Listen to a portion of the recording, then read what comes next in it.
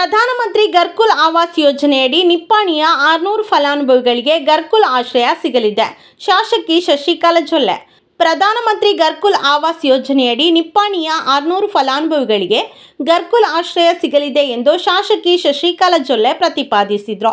ನಿಪ್ಪಾಣಿ ನಗರದಲ್ಲಿ ಪ್ರಧಾನಮಂತ್ರಿ ಆವಾಸ್ ಯೋಜನೆಯಡಿ ನೂರ ಮೂವತ್ತ ಮೂರು ಕೋಟಿ ರೂಪಾಯಿ ವೆಚ್ಚದಲ್ಲಿ ನಿರ್ಮಿಸಲಾಗುತ್ತಿರುವ ಜಿ ಪ್ಲಸ್ ಟು ಮಾದರಿಯ ಎರಡು ಸಾವಿರದ ಐವತ್ತೆರಡು ಮನೆಗಳ ನಿರ್ಮಾಣ ಕಾರ್ಯವು ಪ್ರಗತಿಯಲ್ಲಿದೆ. ಶಾಸಕಿ ಶಶಿಕಲಾ ಜೊಲ್ಲೆ ಅವರು ರಾಜೀವ್ ಗಾಂಧಿ ಗರ್ಕುಲ್ ಯೋಜನೆಯ ಕಾರ್ಯನಿರ್ವಾಹಕ ಇಂಜಿನಿಯರ್ ಆನಂದ್ ಮತ್ತು ಅಧಿಕಾರಿ ವಿನಯ್ ಕುಮಾರ್ ಛಾಯಾ ಅವರೊಂದಿಗೆ ಗರ್ಕುಲ್ ಯೋಜನೆಯ ಸ್ಥಳಕ್ಕೆ ಭೇಟಿ ನೀಡಿ ಪ್ರಗತಿ ಪರಿಶೀಲನೆ ನಡೆಸಿದ್ರು.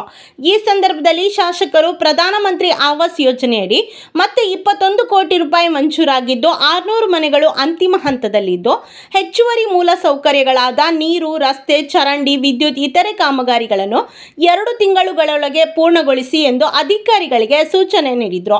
ಶೀಘ್ರದಲ್ಲಿಯೇ ಉತ್ತಮ ಗುಣಮಟ್ಟದ ಮನೆಗಳನ್ನು ನಿರ್ಮಿಸಿ ಫಲಾನುಭವಿಗಳಿಗೆ ನಿವೇಶನವನ್ನು ಹಸ್ತಾಂತರಿಸಲಾಗುವುದು ಎಂದರು ಈ ಸಂದರ್ಭದಲ್ಲಿ ಫಲಾನುಭವಿಗಳು ಹಾಗೂ ಪಾಲಿಕೆಯ ಆಯುಕ್ತರು ಅಧಿಕಾರಿಗಳು ಕಾರ್ಪೊರೇಟರ್ಗಳು ಉಪಸ್ಥಿತರಿದ್ದರು.